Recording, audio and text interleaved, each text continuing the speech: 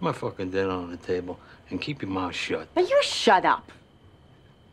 But just because he's a ballroom dancer, you think your son is gay. And what if he was gay? What difference does it make? Oh.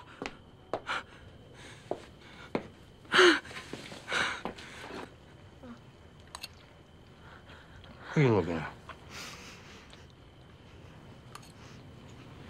You gonna cry now? fuck out of here.